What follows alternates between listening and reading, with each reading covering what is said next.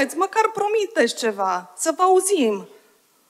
Noi suntem sătul de dale, de căldură, de lipsa uh, locurilor în școli, în grădinițe. Fiecare început de an, pe această temă avem aceeași fredonanță de trei ani de zile. Întotdeauna oamenii preferă originalul și nu copia.